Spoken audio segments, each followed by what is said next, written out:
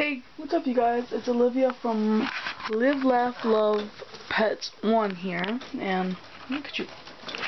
Um, I just want to show you guys what I do when I clean cages. Um, right now I put them in a little cage right here, even though that's exactly what their cage is.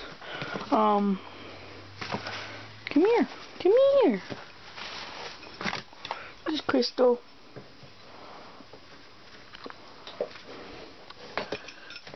Um, but yeah, so I just want to show you guys. So, uh, first thing I normally do is I usually don't use another bucket to, um, dump the bedding in, but I cannot find my bags anywhere. So I am just going to dump it in the bucket, and then I'll dump it in the big trash bag.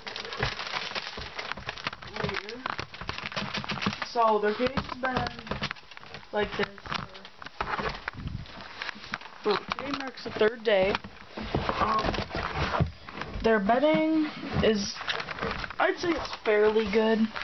Um, my parents just, when they have nothing to do with their work, they just sit and shred paper for me for bedding. So I'm grateful to have that done for me so I don't have to spend money to buy paper. Um, I'm just going to set the camera there for right now. Let's it here. You can't really see anything. So I guess maybe if I like this. Push everything back.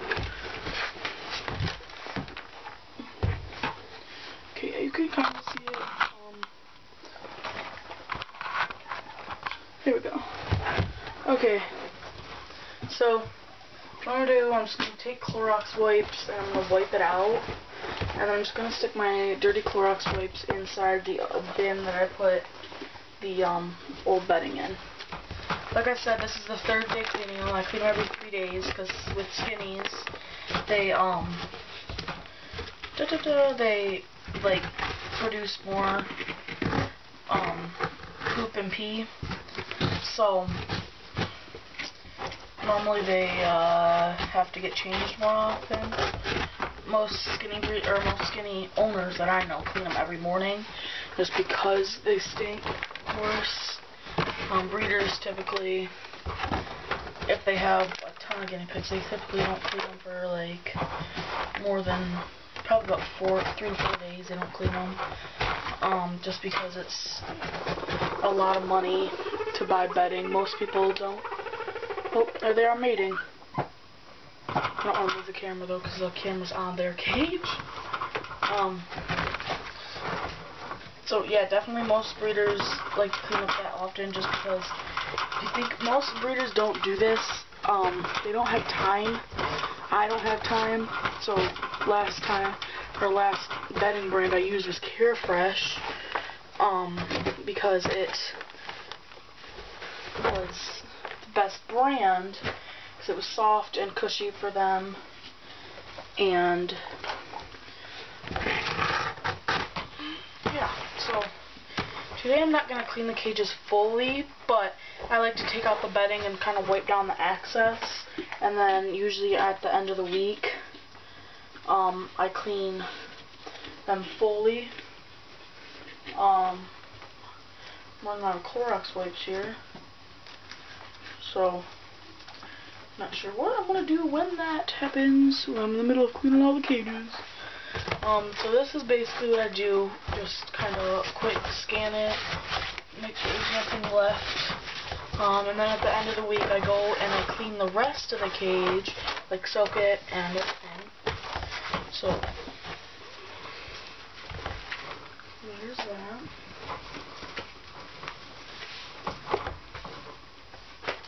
Okay, so then we just have this page. So it's like that. There's still some stuff up in the corners. Um, that's fine until at the end of the week when I scrub it down. Um, then I take my paper shredding bedding. Hang on. I'm trying to do a good angle. Maybe. Okay, there we go. So then I have to take my bedding and obviously put it in there. So the behind you.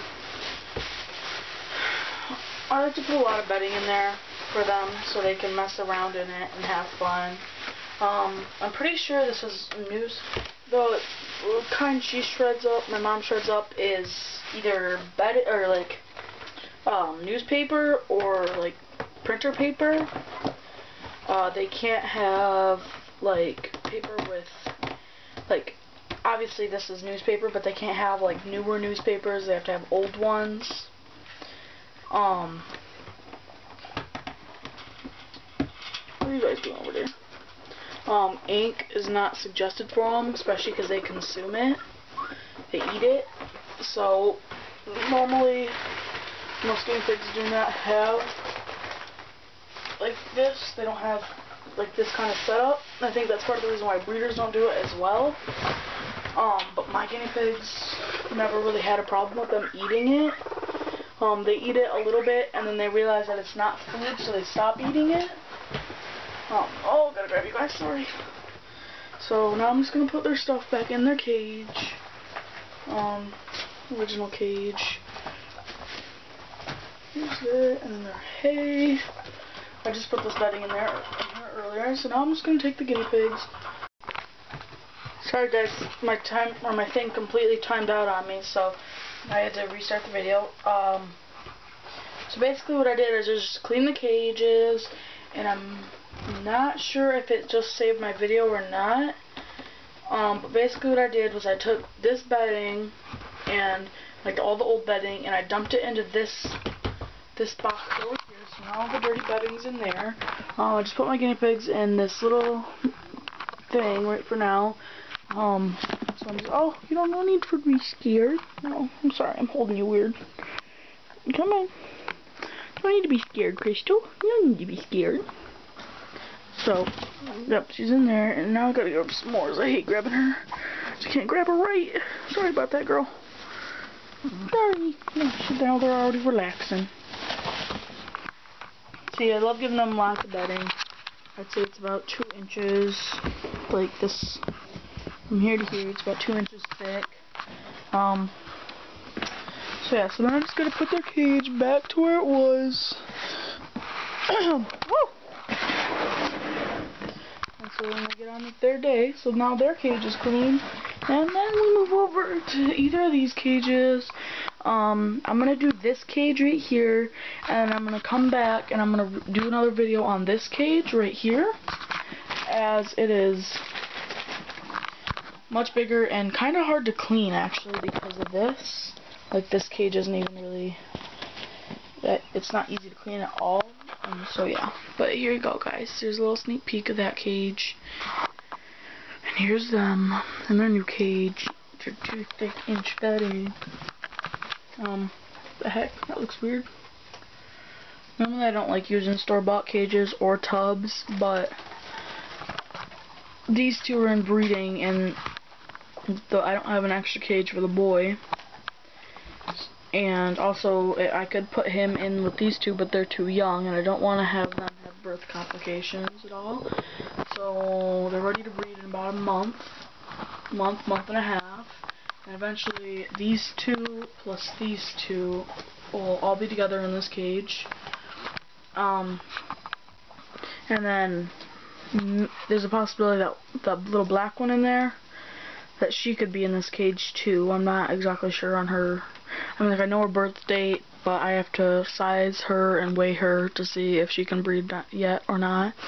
And then that little white one in there, she's going to her new home soon, so she won't be here for long. So eventually they'll all be living in here for a little bit. And then Frosty's probably going to be living in this cage for a little bit while I'm trying to get him a CNC cage. So yeah, sneak peek.